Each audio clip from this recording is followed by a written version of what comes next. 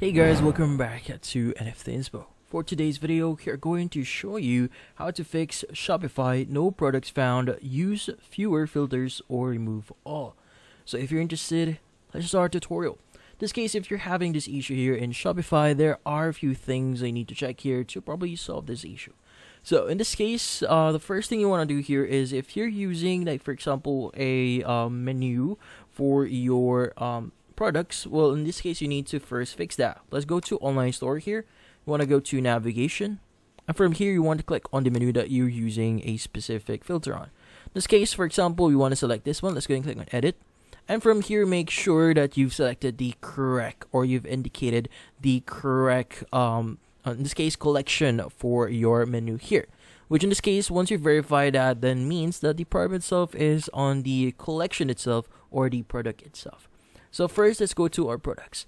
So go ahead and go and click on the products at the left side here. Go ahead and open up the product that you want to actually show on your actual um, page which in this case this is what's going to look like in the product page. Now in this case, make sure that the actual status is active. So if the status is not active, it will not be visible to other users and in this case will not be visible whenever you start searching it or start using filters. Now, in this case, another thing that you could check here is your collection. So especially if you have like collections that you want to uh, basically show. So in this case, like for example, if you're using like an automated way of uh, basically uh, collecting collections or adding items to your collection, make sure that you've indicated the conditions here correctly. Like for example, if the product tab, uh, product tag is actually equal to the following, make sure it's actually indicated or exactly indicated in here. So remove any spaces or any unnecessary text that you see here. So make sure it's exactly it's actually exactly what you see on the product tags. Now going back to products here, so go back to your products and again make sure to go to the product tags here that you have and make sure that they are actually uh, set to the correct one. So if you don't see or if it's not it's actually incorrect, click on the X button next to it and from then on just add your own tag itself or the correct tag itself. And in this case, if none of those work, well, in this case, the problem itself might be your browser. So I recommend you to clear your browser cache.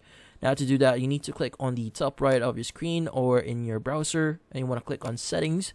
Click on the option for privacy and security. Click on delete browsing history data. And from here, make sure that cookies and other site data, cache images and files, and uh, site settings are actually set up. Now from here, you can select the time that when your actually your site or your uh, Shopify website actually still works. So you could choose last four weeks, last seven days, or even all time, which is pretty good. Go and click on clear, uh, delete data, and from then on, close your browser and restart it again. Now, once you've done that, see if that solves your issue.